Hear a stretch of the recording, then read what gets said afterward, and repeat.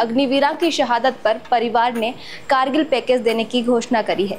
School जाने वाला बच्चा ने हर प्रतिवर्ष अठारह सौ और कॉलेज जाने वाला बच्चा ने छत्तीस सौ रुपया की स्कॉलरशिप भी मिली।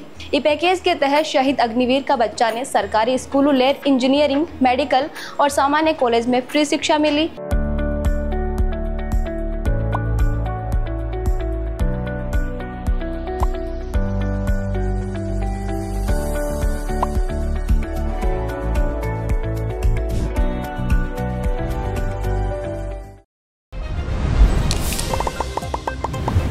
खमा गणिसा राम राम। आप देख रिया हो झलको झुंझुनू। मैं नंदिता आपके साथ। अग्निवीर योजना ने ले न सिर्फ़ राजस्थान, बल्कि पूरा देश में मोदी सरकार के खिलाफ नाराज़गी ही और शायद आही वजह ही कि इस बार बीजेपी ने लोकसभा चुनाव में काफ़ी सीटों को नुकसान भी हुई है। खुद बीजेपी का नेता भी इस बात में बोल चुका है कि बारी हार अग्निवीर योजना के लागू होने से हुई है। झुंझुनू में शुभकरण चौधरी और सीकर में सुमेदानंद सरस्वती हार के लिए अग्निवीर ने बड़ो कारण बताया है।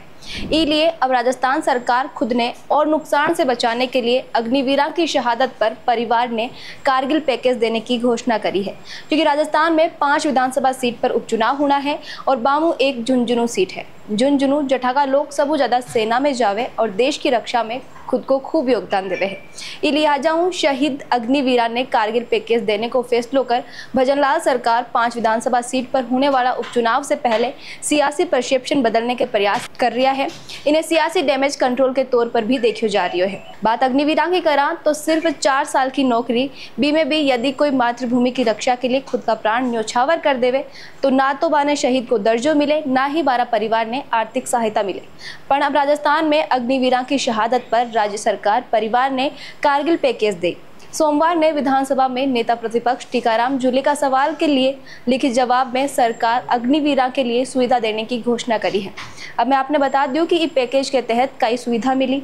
शहीद अग्निवीर की पत्नी ने कारगिल पैकेज के तहत 25 लाख नगद 25 बीघा नहरी ज़मीन या एमआईजी को मकान, सरकारी नौकरी, बच्चा की फ्री शिक्षा माता पिता ने पाँच लाख की एफडी और रोडवेज़ में फ्री यात्रा की सुविधा मिली। बटही अग्निवीर के स्थायी विकलांग होने की स्थिति में भी सरकार कारगिल पैकेज या की सुविधा देने की घोषणा करी है।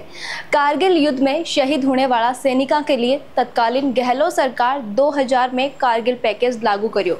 फिर 2019 में रुपया और सुविधा में इजाफो हुयो। बी के बाद गहलोत सरकार शहीद की पत्नी और अविवाहित शहीद का माता पिता ने मिलने वाला सम्मान भत्ता में दो हज़ार इक्कीस में बढ़ोतरी कर बिने तीन हज़ार पाँच हज़ार करियो और शहीद का माता पिता की एफडी भी तीन लाख को बढ़ाकर पाँच लाख करी। अग्निवीरा ने कारगिल पैकेज देने पर बीजेपी सरकार रो कहना है कि अग्निवीर भी सशस्त्र सेना का अंग है। बाने बैटल कैजुअलिटी घोषित करो जावे तो अग्निवीर पर भी कारगिल पैकेज के तहत दी जाने वाली सभी सुविधा लागू हुई। संसदीय कार्य मंत्री जोगाराम पटेल बोला कि अग्निवीरा का परिवार ने सुविधा देने वालों राजस्थान पहलो राज्य हुई। इस पैकेज के तहत शहीद अग्निवीर का बच्चा ने सरकारी स्कूलों लेर इंजीनियरिंग, मेडिकल और सामान्य कॉलेज में फ्री शिक्षा मिली। स्कूल जाने वाला बच्चा ने हर प्रतिवर्ष अठारह सौ और कॉलेज जाने वाला बच्चा ने छत्तीस सौ रुपया की स्कॉलरशिप भी मिली। कारगिल पैकेज के प्रावधान के अनुसार शहीद अग्निवीर के नाम, स्कूल, अस्पताल, पंचायत भवन, कोई मार्ग, पार्क सहित कोई भी अन्य सार्वजनिक स्थाना को नामकरण करियो जाए। शहीद का परिवार के नाम कृषि भूमि है तो तत्काल प्राथमिकता आउट ऑफ़ टर्न के आधार पर एक बिजली कनेक्शन दियो जाए। राजस्थान रोडवेज़ में शहीद की पत्नी, आश्रित बच्चा और माता पिता ने साधारण एक्सप्रेस और डिलक्स बसा में फ्री यात्रा को पास जारी हुई। अब एक नज़र में देखा कि परमानेंट जवान और अग्निवीर ने मिलने वाली सुविधा में कितो फ़र्क है। दोनों में सबो बड़ो अंतर पेंशन को है। रिटायरमेंट के बाद परमानेंट सैनिक ने हर महीना सेना की ओर पेंशन मिले, जबकि अग्निवीर ने कुछ भी नहीं मिले।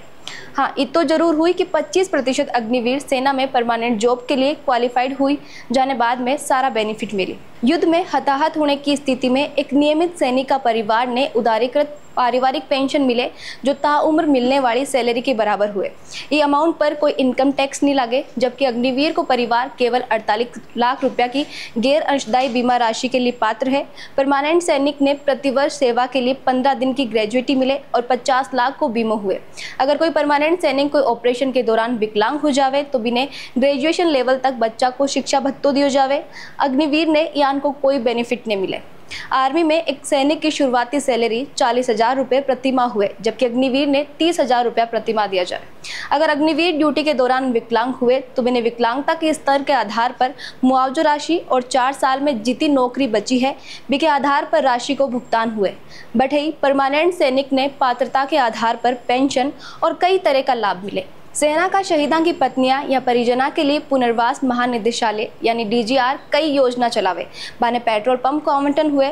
शहीद का परिजन ने एलपीजी गैस एजेंसी लेने पर भी छूट मिले, पर अग्निवीरा ने यान की कोई योजना को लाभ नहीं मिले।